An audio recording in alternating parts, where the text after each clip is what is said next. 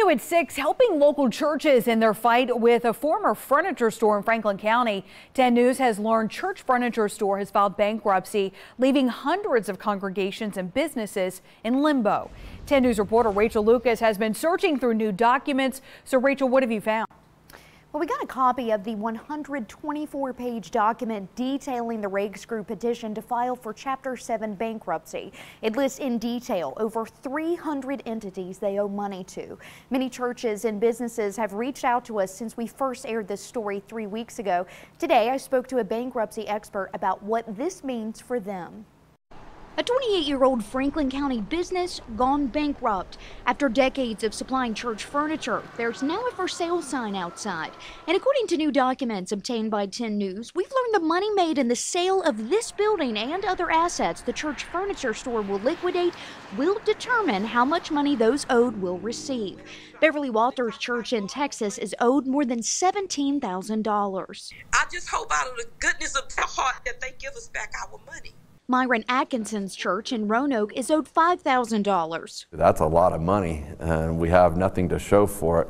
According to this 124 page petition, the Rags Group filed for Chapter 7 bankruptcy. It is essentially a liquidation bankruptcy. So that's a company that has basically decided it's not going to remain in business it's not able to pay all of its debts. We sat down with the bankruptcy expert, attorney Andy Goldstein in Roanoke, to talk about what that means for churches waiting on refunds.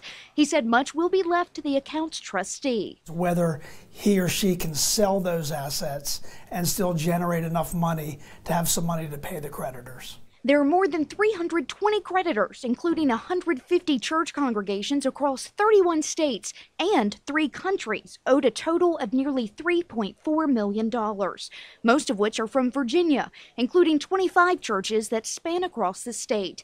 Generally speaking, Goldstein says for those owed money, it's not looking good. Mostly a Chapter 7 is not good news for a creditor. Um, it's not common that the results of a Chapter 7 is to give a particularly large distribution to the unsecured creditors. It does happen, but it's not the general case.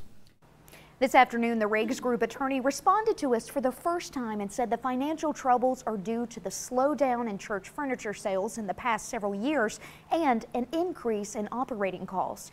There will be a creditors meeting on March 1st in Roanoke where those owed money can attend to ask questions. We're posting more info online at WSLS.com. In studio, I'm Rachel Lucas, 10 News, working for you.